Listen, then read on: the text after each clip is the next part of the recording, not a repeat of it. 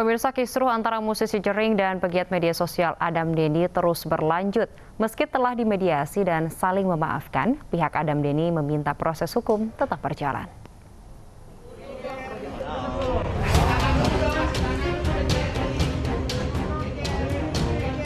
Perseteruan antara musisi Jering dan pegiat media sosial Adam Denny tampaknya akan memasuki babak baru. Selama satu jam, kedua pihak sudah menjalani mediasi di Polda Metro Jaya siang tadi. Pihak Jering setelah meminta maaf dan Adam Denny juga telah menerima permintaan maaf tersebut. Meski demikian, Adam Denny bersikuku akan melanjutkan kasus ini hingga ke pengadilan.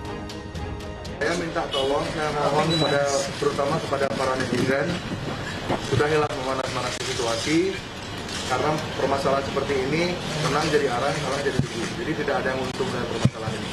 Jadi saya mohon sekali lagi kepada para netizen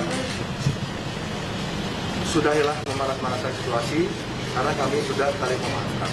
Saya memaafkan, tetap memaafkan, tapi tidak melupakan dan uh, saya juga tadi membuat keputusan dengan kuasa hukum saya untuk terus melanjutkan proses hukum yang berlaku di pihak kepolisian. Paling kayak gitu ya, karena memang uh, sebelum saya melaporkan, saya sudah melakukan mediasi, tapi di dalam mediasi sebelum yang saya laporkan itu saya ditolak mentah-mentah, ditantang tanding hukum, saya dibilang bukan siapa-siapa, pada intinya e, memaafkan sebagai manusia, iya jelas memaafkan. Cuma saya ingin proses ini terus berjalan sampai di pengadilan nanti. Sementara pihak kepolisian menyatakan tetap membuka ruang mediasi untuk keduanya sebelum berkas perkara dilimpahkan ke kejaksaan. Ya, kita sudah berupaya untuk melakukan mediasi, tetapi saudara pelapor, saudara ADK juga meminta walaupun sudah memaafkan secara pribadi minta supaya proses hukum oleh penyidik ini tetap berjalan sesuai dengan aturan hukum perundang-undangan yang ada. Ya, kami pihak uh, sebagai mediatornya tidak bisa memaksa itu haknya silakan. Tetapi di sisi lain kami masih membuka, kami membuka juga masih membuka uh, ruang untuk adanya mediasi lanjutan sampai dengan berkas ini sebelum terkirim ke jaksa penuntut umum.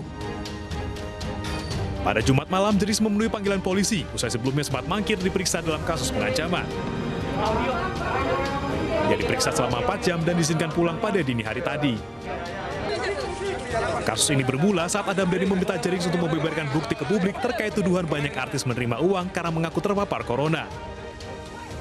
Tak lama berselang, akun media sosial Jering hilang dan musisi ini menuduh Adam Denny menghapusnya. Jering pun menelpon Adam Denny dan dugaan pengancaman terjadi melalui sambungan telepon. Tim iNews melaporkan.